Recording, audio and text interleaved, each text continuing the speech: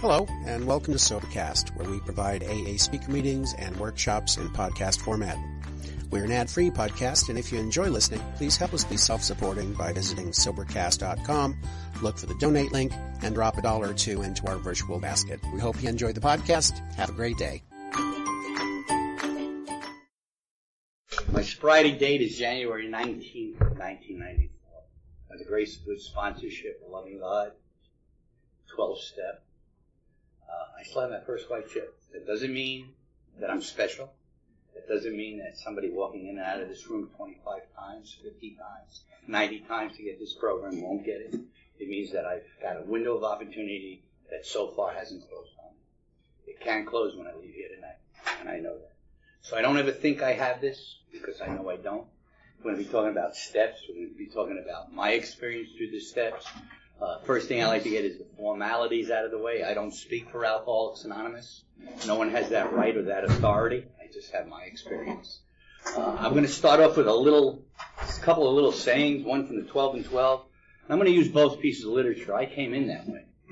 Some people believe, you know, you know only as, as, outlined in the big book. Other people say, I got everything through the 12 and 12. Well, I got everything through both and a lot of other material. So you're going to get all my material because I got it. You guys got to listen to it. Well, yeah, yeah. Uh, my experience is it's the, the uh, 12 and 12. It says uh, right at the very beginning. Uh, AA's 12 steps are a group of principles, spiritual in their nature, which if practiced away a life can accept, expel the obsession to drink and make the sufferer usefully and happily whole. What's a principle? I had a principle when I was out on the street. My principle for living on the street, which for mine was mine, and what yours was want to be mine. Uh, kind of to say a nice word with a gun than just a nice word alone. Those are the principles I live by. I lived dirty. I acted dirty, and that's how I lived my life. I didn't even know what a principle was when I got in here. There's negative principles and there's positive principles. Uh, so uh, there's another part in the book, and I'm starting with principles for a reason because uh, I don't do things according to just those 12 that you see up on the walls in a lot of rooms. It says um, in 1953, I'll go back a little bit, give a little history. There was a speaker in California who spoke, and he said, "These are the principles behind the steps." Somebody liked it, they wrote it down, and they passed that card around. And since 1953, people say the principles behind the steps. Well, our literature tells us that the principle is the step. There are a lot of things that come out of the first step. Uh, so when we talk about principles, there are positive ones, there are negative ones. Uh, I lived by a lot of negative ones, and I didn't know what positive principles look like. Uh, in the first step, there are 27. I know that because my sponsor had me go on a journey in the 12 and 12 and find them all. Told me not to look at it for the next five years, and then when I go back, I can find what I missed. So I'm sure there is some that I missed. Uh, a big book, before I get into the first step, states of necessity, of necessity there will be discussion of matters that are medical, psychiatric, social, and religious. We are sure that these matters are from their very nature controversial. Nothing would please us so much as to write a book which would hold no uh, contention or basis uh, for argument. So if there's something I say here that you don't agree with, please let it go. Don't come to me, ask me, and tell me why sponsor didn't tell me that, so it ain't going to work. Whatever works for you works. If the one word principles behind the steps works for you, by all means use it. I just have my experience. My experience is I use them when somebody's confused. How do we get to honesty? Well, we get to honesty a lot of different ways. One is through surrender, another is through admittance. So that first step, and those are two principles that are in the first step, uh, defeat, um, sufficiency, humility, purpose, willpower, desperate action, tolerance, God, patience, powerlessness, will, strength, confidence, truth, unmanageability, confession, meditation, sacrifice, honesty, open-mindedness, prayer, restitution, control, hopelessness, conviction, happiness, acceptance, and admittance. Those are all discussed on four pages in the 12 and 12. It's amazing that we don't see what we need to see until it's time for us to see it. And we don't hear what we need to hear. I walked into the room of Alcoholics Anonymous on January 19th of 1994. There's a big guy by the name of Bob Welsh. He was the man who carried a message to me. And uh, he said to me, listen, I walk in a room and I would say, I have a desire not to drink, and I would talk about a lot of other substances and how I did them and how I wanted you to throw me out of here, and I go into a different fellowship and do the complete opposite. Uh, and there was a reason for that. I didn't know the reason at the time. The reason was I wanted you to throw me out so I can go get loaded. Loaded to me, I'm not going to get hung up. I'm in Alcoholics Anonymous. I'm going to talk about alcoholism, not alcoholism. I'm going to talk about how I learned that the substance that I put in my body does not matter. It says in the big book, alcohol in any form. So I don't get hung up whether it's a pill or it's a this or that or it's in powder form or liquid form or some kind of form I haven't seen yet. It doesn't matter. I've heard many different things I've never done, and there's a lot of things I did you guys will never hear of. And that's a real good thing to know that once we walk in here, we're all equal. Nobody drank harder than I did. Nobody drank less than I did. Nobody drank more than I did. Uh, there's a part in the book that says from Park Place to Park Bench. Zero is zero. Whether you had two drinks and walked in here and said, hey, my life is unmanageable, we'll get to what unmanageability is to me in a minute, uh, and, and stop drinking, or you did like I did, folded a cardboard box on January the 18th and went into a detox. That's how I came in here. We came in here different ways. Zero up here, or zero down here is zero. We're all equal. So I try, whatever I say, I will ask everybody if they can, if you can identify with it, the feeling, the emotion, the situation, please use it if it helps you.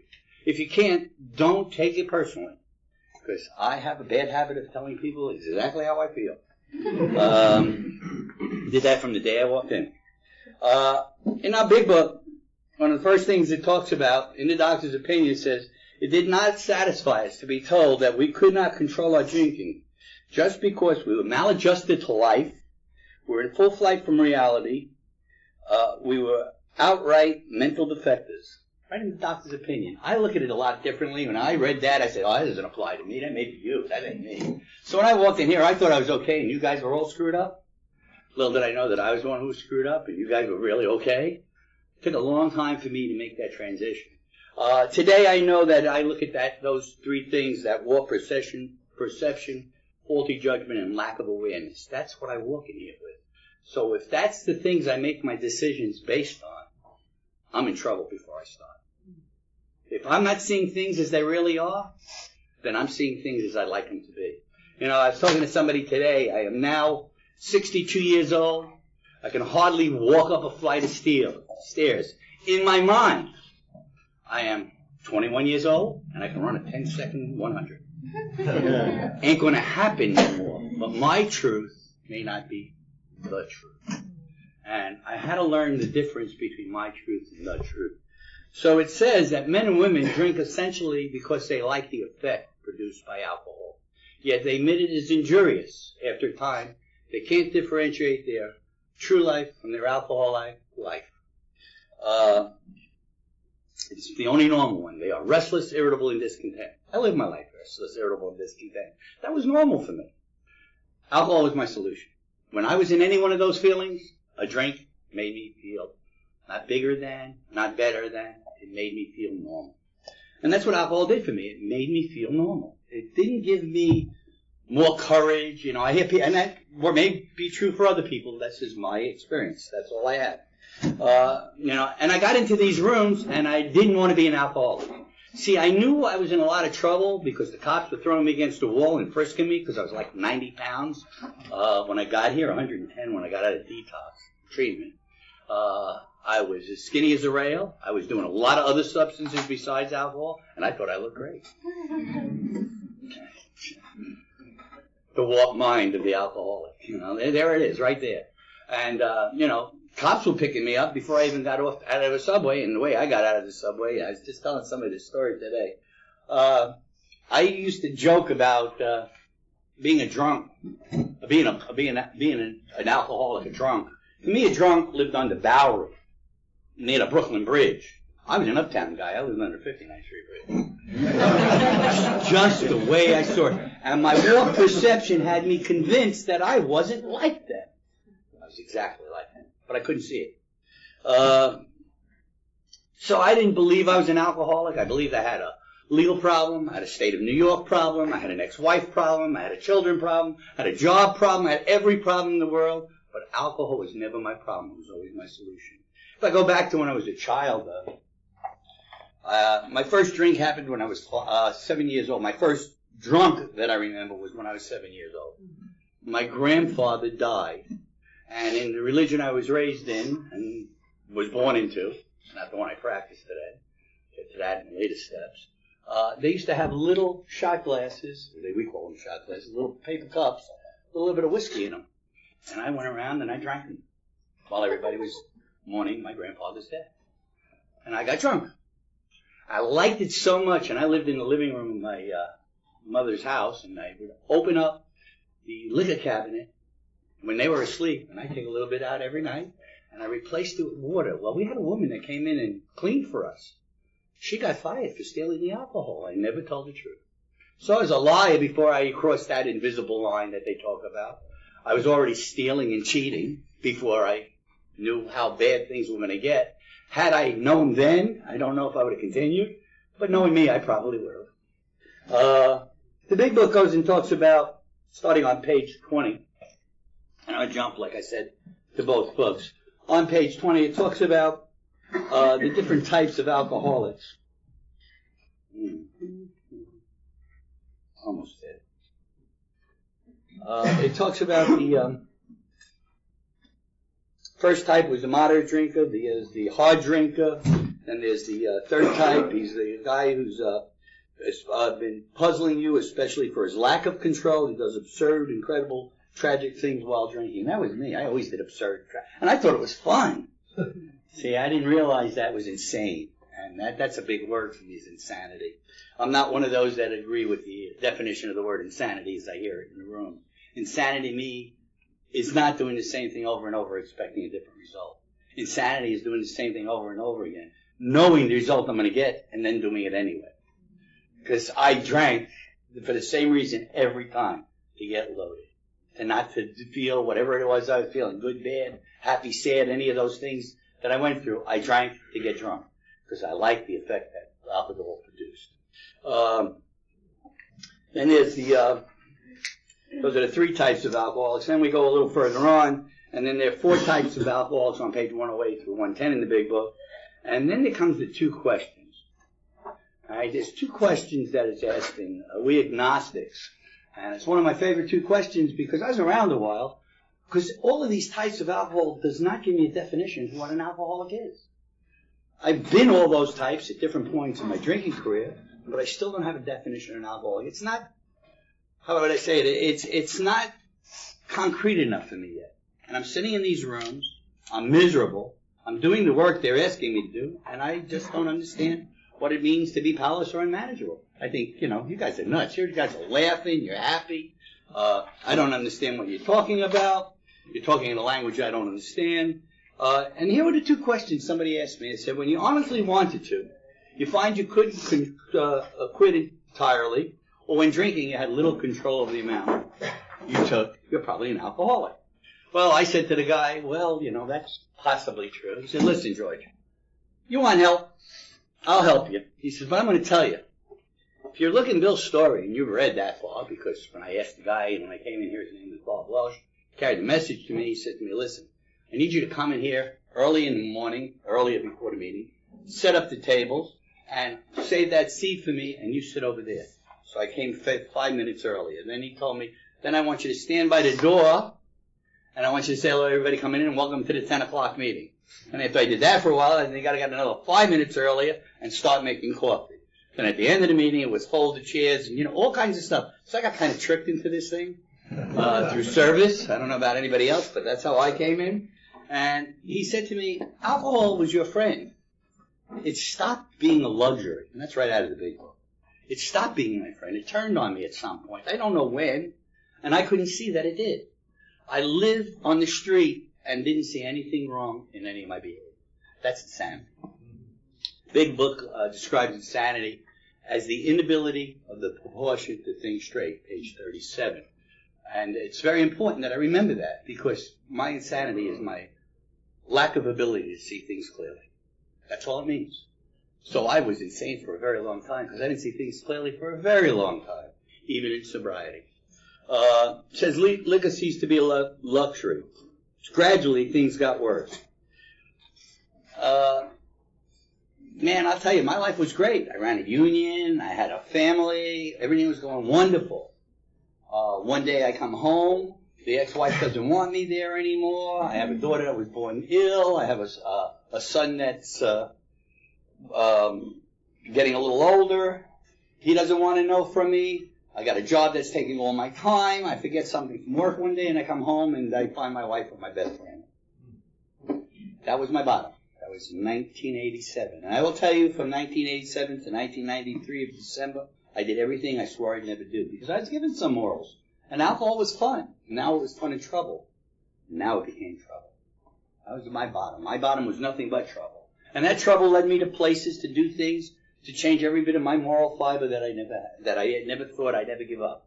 All the things my mom taught me. Uh, I didn't speak to my mother for five years before I got here. I had a sister that died while I was in active alcoholism. I had another sister that I didn't talk to me for my first two years of recovery. That is stuff that I own today because I did that. I have children that didn't talk to me for years. That is stuff I own today. That's a direct result of my alcoholism. That's nobody else's fault but what I did to me, not what they did to me. It was real hard for me to see that, and there's that warped perception. That sharp mind of the alcoholic, it's their fault. You know? Uh, it sure wasn't. Bill's story talks about the very bottom of my bottom. My li- my very bottom was uh, December of uh, '93 when I knew I had to get off the streets of New York because I was getting bounced around by the cops too much. People were chasing me. A lot of them had names with vowels, so I was trying to duck them a little bit. Uh, I wasn't doing nice things. I, you know, I was living by a very immoral standards. And it talks about in Bill's story, no words can tell the loneliness and despair I found in the bitter remorse of self-pity. I sat there. I sat in that cardboard box on Christmas 1993 with a bottle, a gun, a couple other instruments, I couldn't do anything about it. I couldn't walk. I wanted to enjoy that Christmas so badly that I had to go to a Woolworth and steal battery operated lights. Cut a hole in this cardboard box, lit it up. and I walked all the way to 49th Street and Broadway, walked back to 59th Street to get back under the bridge, and, and, and had my Christmas there. I couldn't walk to Rockefeller Center to see the Christmas tree because I wasn't The loneliness, and self-pity that alcohol brought me. I decided I was going to get some help. So, being an ex-union official, which I lost because of my drinking, I never would admit that for many years. I thought it was because the guy who was next to me didn't like me. I don't know how many people lost a job that way, but that's how I lost my job. Uh, I called a person I started an employee assistance program with five years earlier. And what ended up happening is uh, she said, I told her about this guy I knew he was doing this and he was doing that and he was doing psychedelics and he was drinking and he had a problem. She says, bring him in tomorrow. Let's, I think we can help him. So I go marching into this office and I knock on the door and see this employee assistant program person and she says to me, uh, George, where's the guy you were going to bring to me? I said, he's right here. You know, big joke. Uh, she says, you're kidding. Now, I help write a program while I was getting loaded every day. Uh, that's what I did. I drank at 10 o'clock in the morning. I did other substances. I put a program together for members in my union. 34 of them went into recovery because of the program I put together, but I didn't need it. The delusionary thinking of the alcoholic, the sharp mind, I like to say, the alcoholic, that warped perception that I lived in. Ended up happening is we sat and we talked and I was given some choices. I was always given choices. I didn't always take the right one, but at this time things started changing. Don't know why they changed. I don't know how they changed. I just know they changed. The first choice I was given was to uh, either stay in New York and then go up uh, to go to Connecticut, or I could go right upstate New York. One was to a hospital, and then to Connecticut to a treatment center, or another one was to just go straight upstate New York to a treatment center. And I'm thinking of all the people that I'd done damage to and all the things that I did. So I decided it would be better if I got out of town so when people say geographicals don't work, that's not my uh, experience. I went upstate New York, and I'm still sober. So geographicals work if you work at it. It comes back to how willing are you to go to any length. I got up to that treatment center and they told me I was going for 28 days. So I dope cleaned one of my old bosses for a couple hundred dollars. I turned around and I uh, went out and did as much as I could. I got on a bus and uh, almost got arrested by the police. That's a story by itself. With my insanity of what I was doing, and I ended up uh, getting to this treatment center, and they said there is no detox for you. You have five days, and you have to be out of here. I had a resentment to the treatment center. Anybody who's been in a treatment center, I'm sure you can relate to that.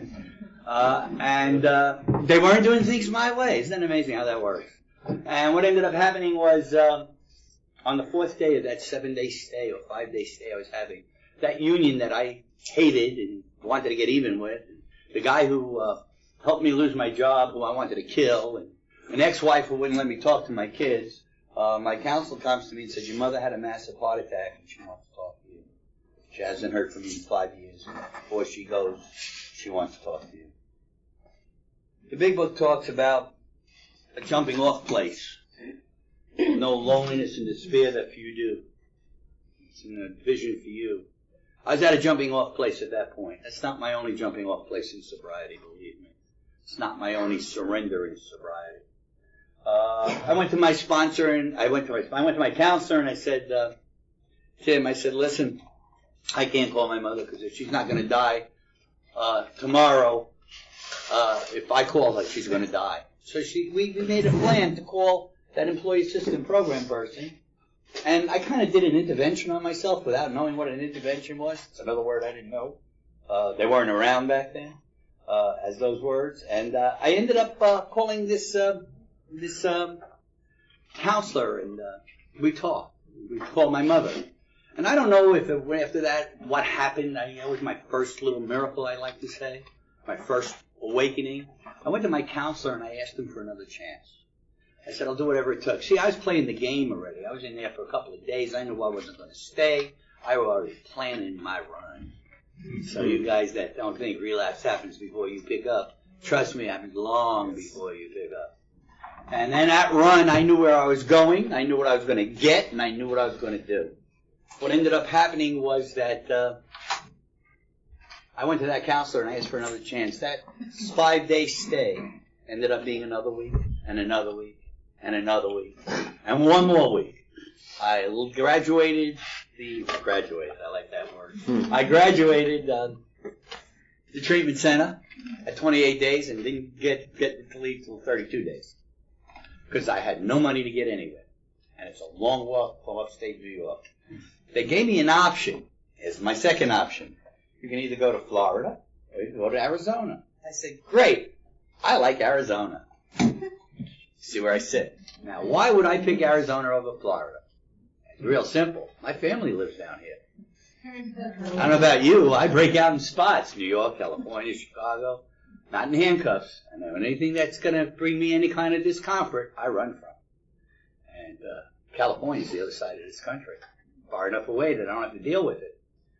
So that's the way I lived my life for a long time. They said, no, you're coming down here. And I got here and I have a 38 bus about ride, 38 hour bus ride from I talk about. A meeting in itself. And when I got down here, I get off the bus on a Friday night in the middle of Pompano and I look around and all that's there is a cop. Now, if you know me, I don't go with the cops. If you know what I look like, I was 38 hours without sleep.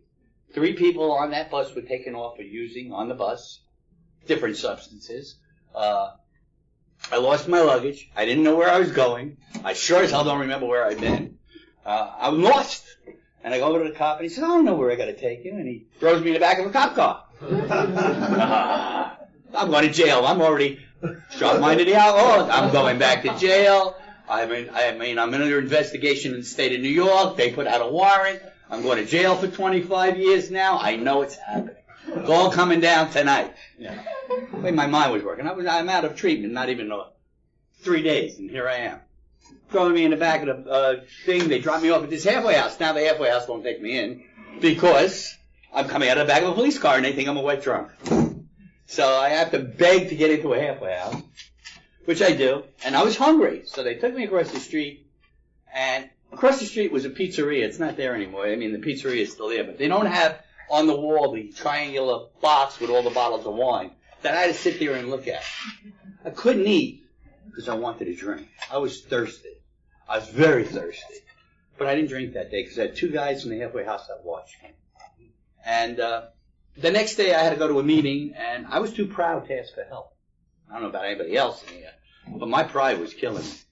And I walked to this meeting, and I met Bob, the guy that I met at my first meeting, who carried the message to me. And I became his pet project. I always joke about it. And uh, I walked home. I did that my first couple of months of recovery uh, because I was too afraid to let anybody know how unmanageable I still was. I couldn't get a job here because I was a union official in New York and I was an organizer. This is the state of Florida. They don't like union people down here, let me tell you. I had to sign a waiver to work at Denny's for $1.97 or $2.11 an hour that I wouldn't try and organize the workers. Can you imagine that? Two dollars. You think for two dollars and eleven cents, I, I was making thirty-four dollars an hour. Don't they know who I am? It's where I started my uh, career in recovery, is uh, bussing tables, and uh, I did what I was told to do. Uh, Mark talks about the old pleasures were gone. They were but memories. We cannot recapture the great moments of the past. In my mind, that was the greatest thing since white bread. I don't know anybody else. But I, I, I could do nothing wrong. I was 10 feet tall and bulletproof. How did I end up here in this situation? I never once got to see the truth. My truth was much different than what was really going on. See, I lost a job because of my behavior. Like I opened up Ellis Island. I was the audio visual tech up there.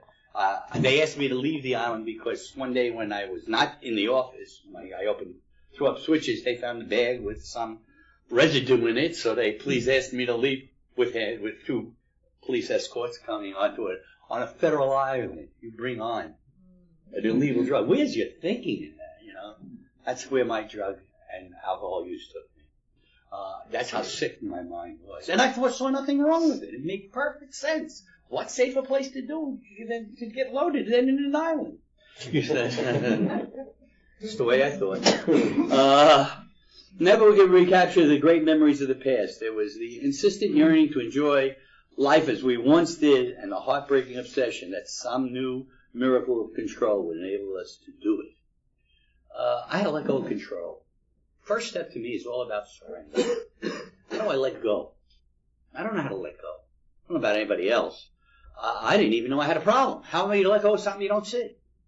How do you let go of a feeling you don't realize is going on? How do you do a first step? You know, that was, you know, I wrote one in the treatment center. Don't ask me what I wrote. I still have it. It still doesn't make sense. They told me to write it, otherwise I can get out of there. So I wrote it. You know, uh, um, we admitted we were powerless over alcohol that lives become unmanageable. See, I can understand the unmanageable part of that step because my life was. You live under a bridge. You don't bathe. You don't. You wash your clothes in toilet bowls in movie theaters. Uh, you know, you sleep in the street. You go between East 42nd and West 42nd Street to stay warm in December. I consider that a little bit unmanageable. The sad part of that, which had to be brought to my attention by a loving man, he said, George, you were making $2,200 a week. Where did the money go? I said, well, it wouldn't go to rent because it made no sense because then I couldn't do what I was doing. That was the logic, and that really made sense to me. You couldn't convince me that spending $1,600 a month for rent in New York was worth it because that meant I had to give up a week and a half's worth of work. So I could live. I was living fine. that was the way, the way I looked at it. Uh, the part in the back of the big book a vision for you where it talks about the hideous four horsemen terror, bewilderment, frustration, and despair. I lived in that. No different than irritable, restless, and discontent. And that's why I stayed in that bubble, especially when I got here, that I wasn't healthy. My sponsor said, George, you're talking wet again. You're talking like you want to drink again. I did. I sat in these rooms and wanted to drink. How do you let go of what you don't know how to let go? How do you turn around a thought process that has been with you your whole life? How do you get rid of a warped perception? How do you change faulty judgment? So I was trying to think my way out of this, and it was driving me crazy. I would get up at 10 o'clock in the morning and go to a, a step meeting. They would read something like the ninth step, and I'd go get on the phone. I had like a whole three weeks, and I'd hear somebody talking about making amends, so I call a friend that I stole $5,000 from and say, hey, I'm calling to say I'm sorry. Guess what? They forgave me. I said, oh, I like this, so I called somebody else that I owe $10 to. I still don't talk to that guy 18 years later. So I don't know what that plan is, but how do you do these things? You don't do them alone. That's how you do them. And that was the hardest thing is find somebody I trusted enough with all my stuff to help me. So who likes to admit complete defeat? None of us. At least if you're like I am, you don't. Uh, practically no one. Every natural instinct cries out against the idea of personal powerlessness. See, I knew the unmanageable. Well, powerless over what? People, places, things? Uh, no, I wasn't powerless over that. I used to say this, you know, if you'd hurt my feelings, you didn't exist anymore. I treated you like you were dead. You just did not get through. The wall went up and you were not allowed in. And I lived my life that way. Very lonely place to be. Uh, as time went on, and uh, I had to come to believe that I had an illness. And I had to get to page 62. Now, I was told to read the big book, uh, read the first 164 pages, and uh, Dr. Bob's Nightmare. That's how I was taught. And I read, uh, you know, how much can I read? Oh, 20 pages a day. How about doing five? You know. Uh, so I read five pages a day, and I got through the part. It took me about 30 some odd days. And I started doing the actual step work with no different guy than Bob. Bob carried a message of hope to me. Larry S. is the guy who literally took me through the steps. I picked him because my halfway house said you have uh, till Saturday to get a sponsor or you're out of here because that was my two weeks were up. And I didn't have a sponsor. So he was from Delray and he was speaking in Broward County, so I asked him to sponsor me. If you're anything like I am, that was a perfect sponsor. He lived there, you live here. Perfect. Never see him. Little did I know every Tuesday he'd come and pick me up and we'd sit in Denny's and we'd go through that big book. We'd go through that 12 and slowly but surely I started doing the work that was laid out. Uh, I write it on all my steps. You know, the big book, uh, the 12 and 12 talks about the first two steps are based on reflection. Well, my sponsor had me writing, so I wrote. He asked me to write where I was unmanageable as a child, teenager, and adult. He asked me to write uh, where I was powerless as a t- child, teenager, and adult. He didn't ask for a life story, so I wrote it. Uh, and it was pretty easy because uh, I remember when I was five years old and uh, I was uh, I was raised uh, Jewish and uh, my my, my mom had a little Christmas tree and they hid all the presents in the closet and I would pretend that I was sleeping and when everybody went to bed I opened everybody's presents. I got to uh, spend that next day standing behind the curtain. I don't know about anybody else how they were punished, but that's how I was punished. I remember being punished standing behind the curtain for something else I did, getting a little 10 cent knife out of one of these uh, penny machines and cutting the vinyl uh, shower curtain to see how sharp the knife was. So I was standing behind the counter, and we lived on the first floor. I was standing behind the curtain in the living room. That's how I got punished. And I snuck out the window to go play with my friends. Boy, did I get a whaling that. I don't know about you. I got a couple of beatings. Some of them I deserved, some of them I didn't. But uh, if I really look at it, uh, I probably deserved more than I did. Uh, so my process with that was I started reflecting back on my childhood. One of the things I reflected back on, and uh, it took me a lot of years in recovery to discuss it took me therapy after that. Uh, I have no problem talking about it today. I was seven years old, right after my grandfather died. Uh, I was, we, as kids, and when you were us, little, us that are a little older, we used to help the older people with their packages. We thought to do that.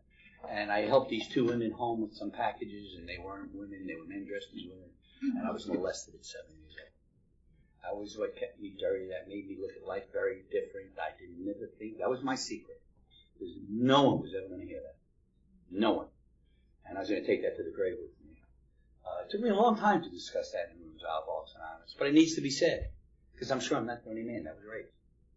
And I'm sure that a lot of women can identify with that. And we'll talk more about that when I get to a different step. But that is my experience. So I didn't tell anybody. Couldn't tell my father because of the way his belief system was.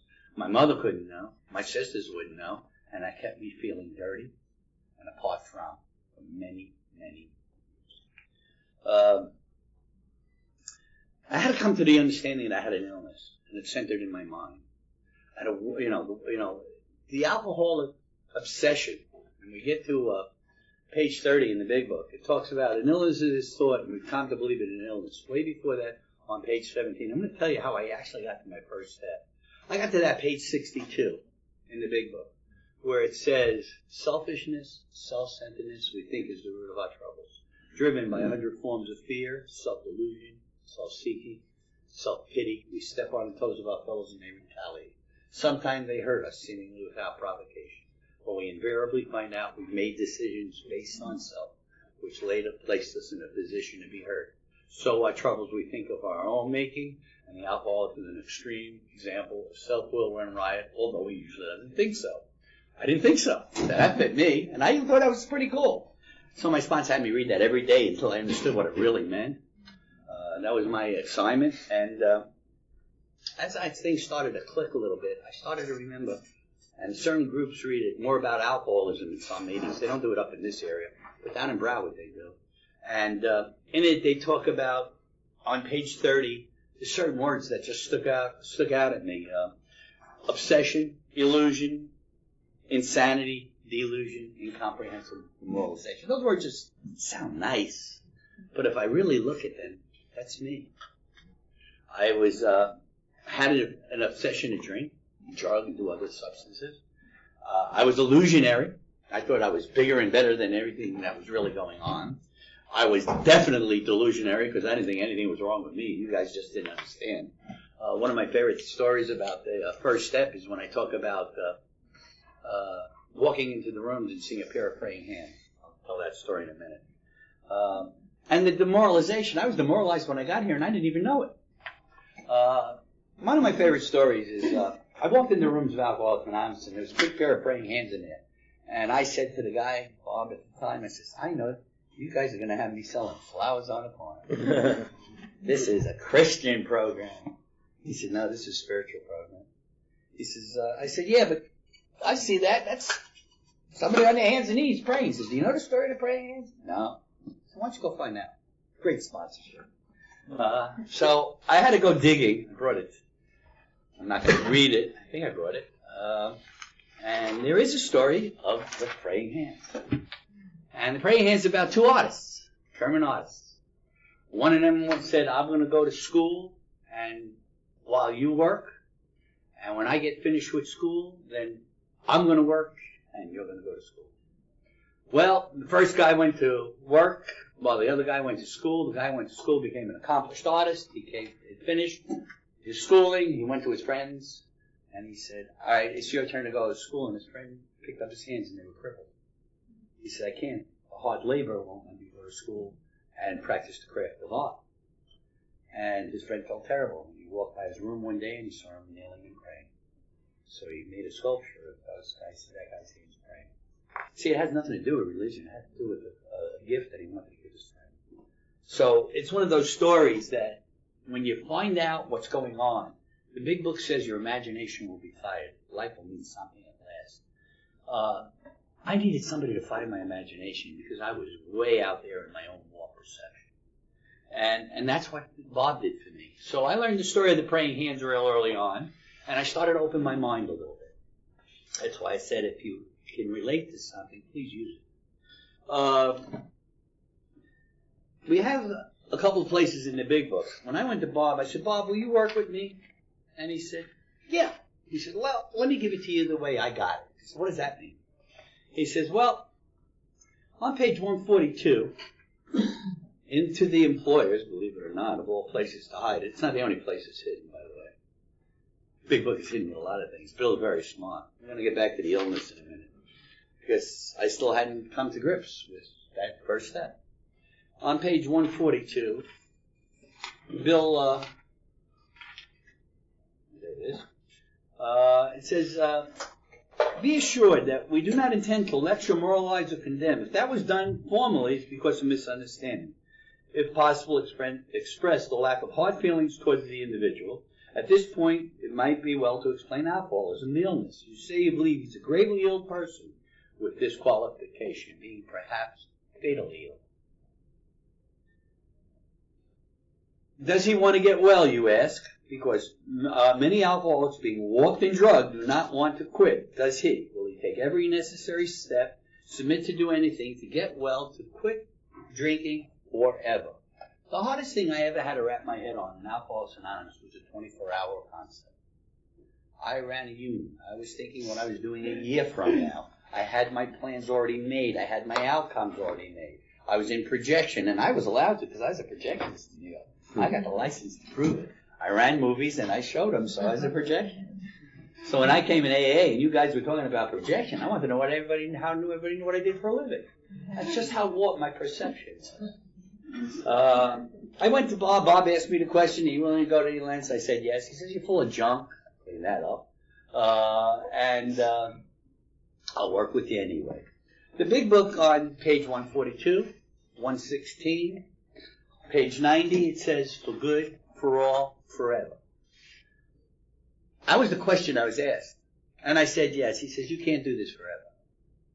You can make a commitment to do it forever, but you get to work at it one day at a time. So that's where that one day at a time concept started to come into. I started to understand that I get 24 hours to work on my sobriety. And I was told real early on, anything I put before my sobriety, I'm going to lose. How did I get to that first step? I still didn't tell you how I surrendered. With all that, all this information, I still haven't told you how I got this. Well, I read page 62. I got to page 30 and heard about the obsession. And then I went, and I went back because there was a speaker. Uh, I was a year and a half sober. I'm sober a year and a half. Did my steps, did all the work. Still not happy in my recovery. Uh, there's a guy by the name of uh, Hollywood Henderson who was telling his story at a men's meeting, and I went over to him after the meeting because he said he knew he's one of those alcoholics who was the walked lives of blameless his children when his mother took a shotgun and ended his father in this. I was taught real early on when somebody says they heard it in the book or it comes out of the book, go ask them where it is. So I went over and I said, uh, can you show me where that is in the book? He said, sure. And uh, come to me after the meeting and I come up to him and opens up his big book and he shows it to me. For a half hour I started arguing with him. It wasn't in my big book. Shot Sharp-minded my alcoholic. I had a different big book. Uh, I, he said, well, why don't you go home? Here's my phone number in Texas. I'm leaving. Call me tomorrow night. I went home, I opened up my big book. Not only did I have it highlighted, I had it underlined. so that shows you we don't always see what it's time necessary for us to see until it's the right time. And because of that little statement, a little further on in the big book, because Bill is very smart. On page 82, he talks about the alcoholic uh, is like a tornado running through the lives of others. Sweet relationships are broken, the home is in turmoil. Uh, sad wives and parents, anyone can increase on the list. The same thing, the orbit of the alcohol. The damage we do when we're out there, or that I did when I was out there, was I always thought would never get straightened out. I'd like to say that everything came back to me after my second year of recovery. That's not my story. My story as we go along and these steps unfold, you will see all the different things that I had to go through, health issues, and family issues, and children issues, and ex-wife issues, state of New York issues, and you know what? Through it all, and especially the health issues, a drink was not going to make any of it any better. See, that's when I knew I took my first step. When I conceded to my innermost self that I was really an alcoholic, that all the rest of the steps were excuses. See, I would tell my sponsor at six months when I walked out of an AA meeting, and I was served with papers to give my children up. The reason I came in Alcoholics Anonymous, the real reason was to duck the, the trouble I was in in New York and get my kids back in my life and deal with my ex-wife and the marriage that she married the guy that I caught her with eight years earlier. That's why I came in. At six months, I walked out of an AA meeting. Was served with papers to give up those children, and I flipped out. Threw a chair at somebody, threw over a bookcase. Uh, my uh, sponsor said to me I would straighten it up. Of course, he was bigger than I was, a lot. Like six two by six two. I wasn't arguing with him, so I straightened it up. And he asked me to go to speak to a guy by the name of Ben Chitty. And uh, I sat down with Ben and he said, let me ask you one question. So what's that, uh, Ben? So what kind of custodian were you? Well, I gave him the house, I gave him this, I did that. So I didn't ask what you did for him. Well, I'm sending him $380 a week. Said, I didn't ask what you did for him. What kind of custodian were you? And I woke up six months into sobriety, my second jumping off place, that I knew that I was an absentee, emotionally absentee father. And I had to sit for a year and fight I sign those children over legally or keep them. When we get to step nine, we'll talk about that. Because I signed them over. I had to do what was best for the children, not what was best for George. For the first time in my life, I didn't think about me, I thought about somebody else. So the first step is about me giving up me to something I don't understand. And the first person I gave that up to was not God. It was my sponsor. She had a whole lot of God problems. We'll be talking about that as we go along. But the the uh, the principle that I will find no enduring peace until he first admits and accepts. In the 12 and 12, it doesn't just say we admit it, we have to accept it. And when I accepted in my innermost self that I couldn't drink safely, I knew I did a first step. And I didn't know I did my first step until I did my third step. I just kept doing the work that my sponsor laid out before. Um, talks about um, it's a statistical fact that alcoholics never recovered on their own resources. Self cannot fix self. Hear it all the time. A sick mind can't cure a sick mind. I needed the help of others. One of the greatest gifts in the first step is the first word, we.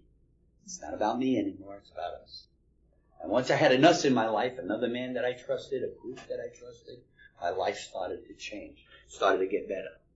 Uh, since step one requires an admission that allows to become unmanageable, how do we, how do other people make this step?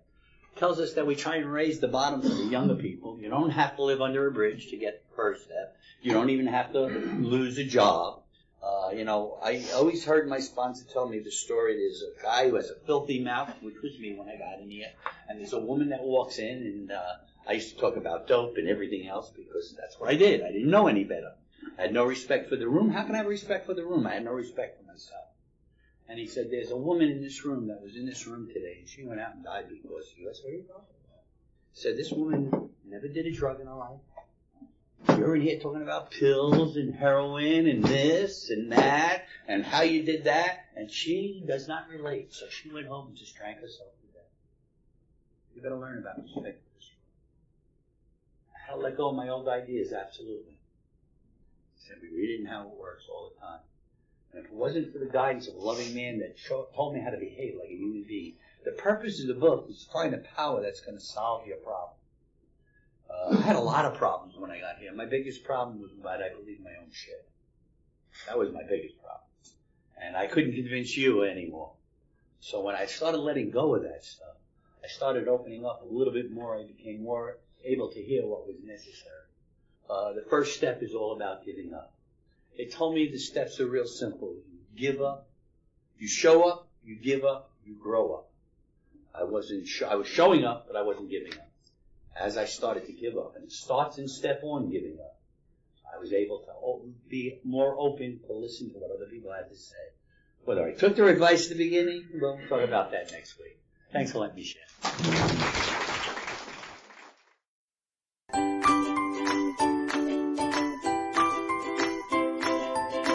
Thanks for listening. I hope you enjoyed the podcast. Sobercast is ad free, and we'd like your help in order to keep it that way.